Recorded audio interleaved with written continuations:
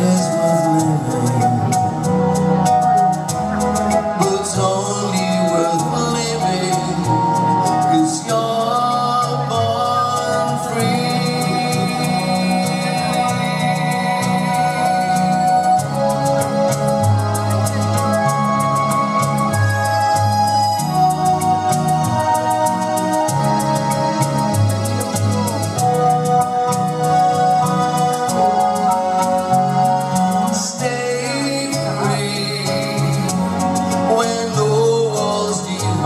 Thank you.